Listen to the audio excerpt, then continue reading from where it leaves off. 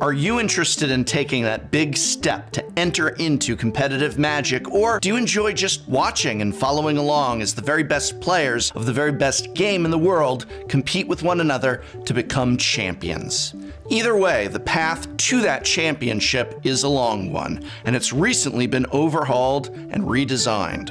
This video will guide you through these exciting and drastic changes, covering everything from the Players Tour to the Mythic Invitational, the Magic Pro League, the brand new Rivals League, and so much more. How to get there and where do they lead. And in a video going over some of the most skilled play for this most skillful of games, it is only fitting that it is brought to you in part today by Skillshare. Now, Skillshare is giving away a free two month unlimited access trial to my subscribers who click the link in the description box, and after that, it's only around $10 a month. Premium memberships give you unlimited access so you can join the classes and communities that are just right for you. Since I'm a YouTuber, I'm obviously a big fan of classes like Cinematography Basics, Understanding Filmmaking Style by Zach Mulligan. Hey, Mulligan! What an appropriate name for this video. And it's a video that has directly benefited from the great lessons and skills that Zach shared. So check out my special link and join Skillshare, the online learning community for creators with more than 25 5,000 classes in design, business, and more. Skillshare.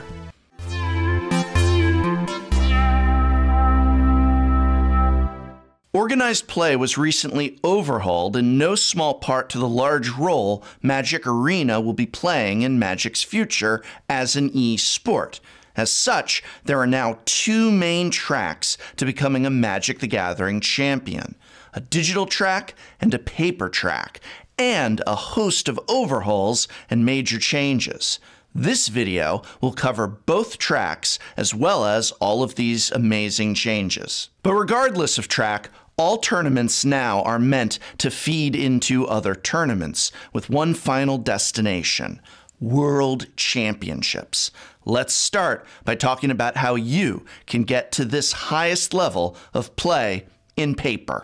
Wizards of the Coast is currently offering a diversity of ways to progress up the ladder of competitive play and ultimately to try to qualify for the World Championship. Let's start at the very top. The first and biggest major event to look at is the Players Tour Finals. There are to be three of these events in a year, with high placement in these events securing a spot in the season ends World Championship. These events are expected to include roughly 120 people and have a higher level of prestige than the Mythic Championships or Pro Tours of today. Outside of being a member of the MPL, there are going to be a few ways to qualify for the Players Tour Finals do well at the previous Players Tour finals. Wizards of the Coast hasn't released the specifics of how these tournaments are going to operate yet, but they have outlined that doing well at the Players Tour finals can earn a qualification to the next Players Tour finals. Win a Grand Prix. All Grand Prix winners automatically earn a qualification for a specific Players Tour final. Be a top finisher at a Players Tour event. More on this in a bit. These events are going to pay out $250,000 to the 120 ish players in the event, and the winner will earn themselves a seat at the 2021 World Championship. Wizards hasn't announced all of the details of how to qualify for the 2021 Worlds, but we do know that this is a guaranteed way to get in.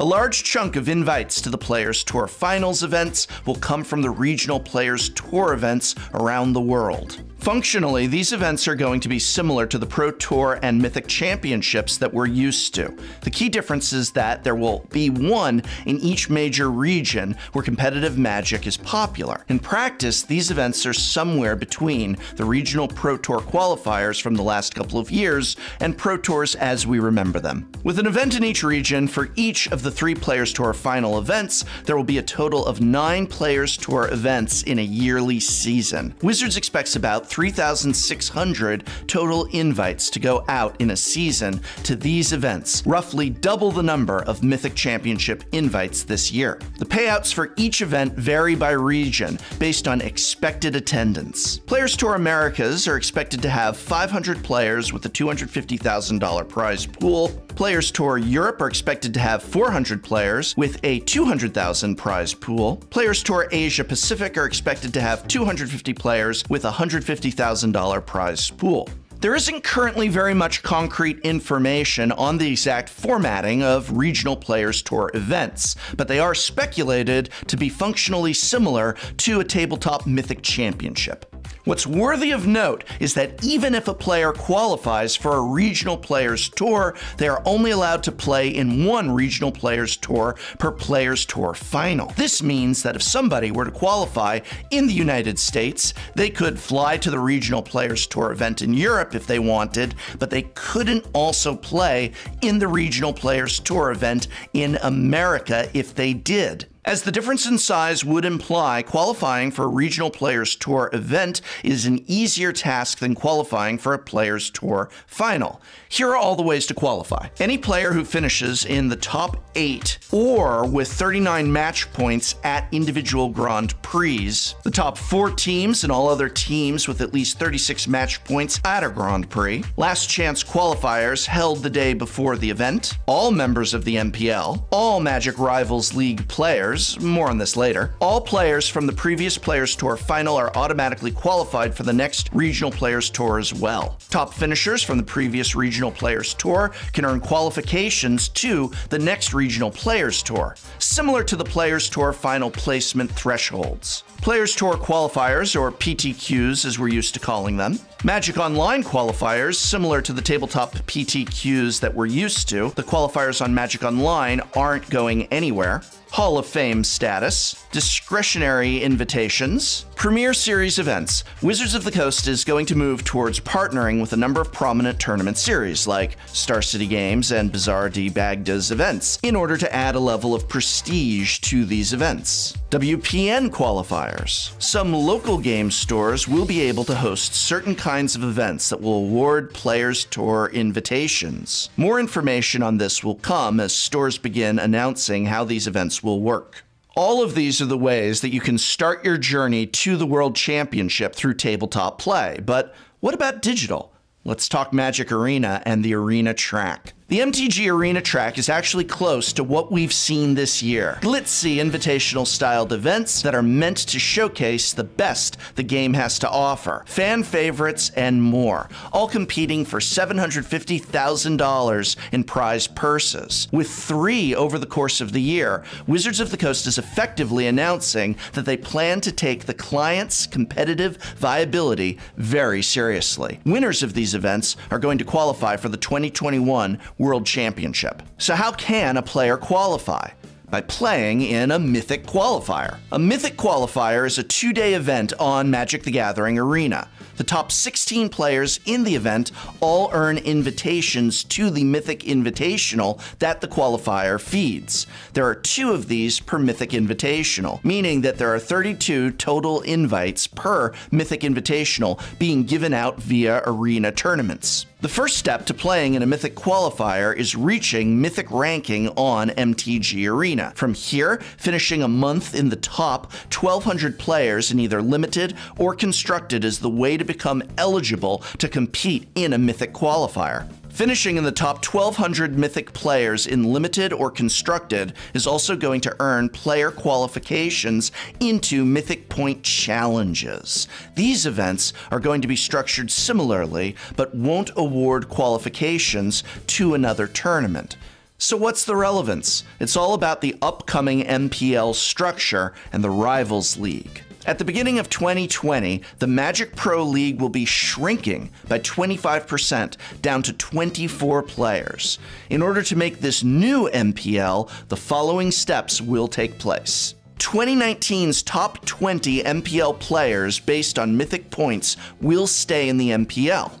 2019's bottom 12 MPL players will no longer be a part of the MPL. But all hope isn't lost for the people who are no longer a part of the MPL. Starting in 2020, there will also be a group of Magic players called the Rivals League. These players are going to occupy an area similar to the MPL, but won't have all the prestige, not all the qualifications and appearance fees that the MPL members enjoy. Eventually, the Rivals League is going to include a total of 46 players. For its inaugural season, it's going to have 32. The reason for this is that in order to get Magic on an August to August season track, the first seven months of 2020 are going to be a partial season, starting on January 1st and ending on July 31st. For this partial season, Magic is going to have a smaller 32 person Rivals League comprised of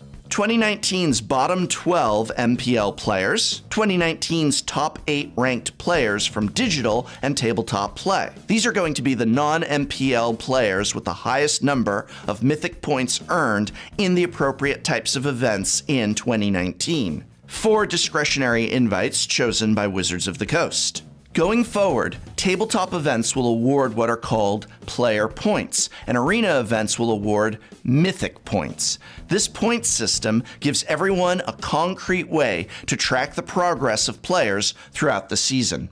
At the end of this partial season, there will be an MPL Gauntlet, a 16 player event in which the top four players will all make it into the MPL for the 2020 to 2021 season. To break down how the MPL shift works, all of these things will happen. Of the 24 MPL members, the top 16 will remain for the 2020 to 2021 season. We'll touch on how rankings are calculated later. The bottom four of the MPL are automatically knocked down to the Rivals League for 2020 to 2021. With the free four slots, the two Rivals League members with the highest mythic points and the two Rivals League members with the highest player points will automatically be added to the MPL.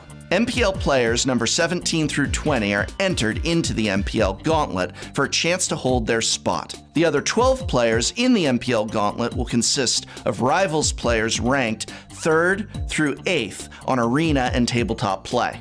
At the conclusion of the MPL Gauntlet event, the top four finishers will be added to the 2020 through 2021 MPL. The bottom 12 will become rivals. At the end of the MPL Gauntlet event, all point totals will be reset to begin the next season. For the complete 2020 through 2021 season, the Rivals League will consist of the bottom four of last season's MPL, the bottom 12 of the MPL Gauntlet, the top 12 ranked digital players via Mythic Points, the top 12 ranked tabletop players via Player Points, six discretionary invites chosen by Wizards of the Coast. Players in the Rivals League will receive invites to regional player tour events, as well as invites to their own Rivals Mythic Qualifier, a unique path to the Mythic Invitational. On top of these invites, Rivals will also receive an appearance fee for playing in premier events, up to $20,000 in appearance fees per player per full season. So, recapping a bit on what this means for the MPL, the 2020 through 2021 MPL will consist of the top 16 ranked MPL players for the previous partial season, the top four players of the MPL Gauntlet, the two rivals with the highest mythic points from the 2020 partial season, the two rivals with the highest player points from the 2020 partial season. For players outside of the MPL, point totals aren't going to intersect, and there will be completely different paths for tabletop and arena play. For players in the MPL, this isn't the case. For the 2020 through 2021 season, MPL players' rankings will be determined by a combination of mythic points, player points, and points earned from MPL split play. This is so every bit of top level play opportunities that these players participate in are tracked and measured against one another. So there's a lot going on here, and to summarize all of it in some easier to digest points, The World Championship is still the flagship event of Magic the Gathering. It's fed by Players Tour Finals and Mythic Invitationals. There are going to be three Players Tour Final events a year, each fed by three regional Players Tour events. These are effectively the new Pro Tours. As such, they're going to have a myriad of ways to qualify for the regional Players Tour events, including Grand Prix, PTQs, and events on Magic Online. There will be three Mythic Invitationals a year,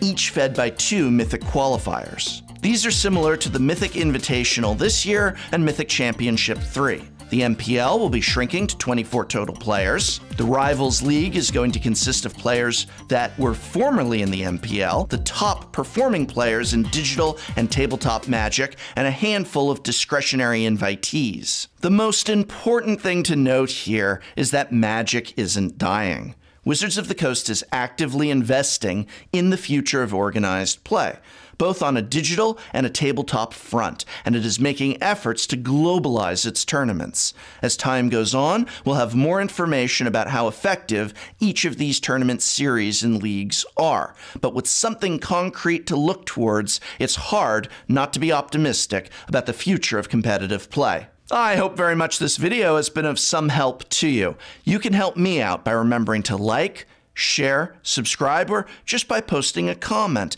And remember that all organized play starts with just a deck and a friend, and you might want to take that deck and that friend down to your local game store for Friday Night Magic, the Standard Showdown, or any other in store events. When you spend money, when it is possible, when it is reasonable, why not spend it where you're spending time playing this great game? That's at your local game store. You're supporting your magic community. Special thanks to the professional consultant for this video, the Venerable Emma Handy. Be sure to check out links to Emma's work in the video description. And this program was made possible thanks to a sponsorship from Card Kingdom, as well as the Patreon support of viewers such as you. So thank you.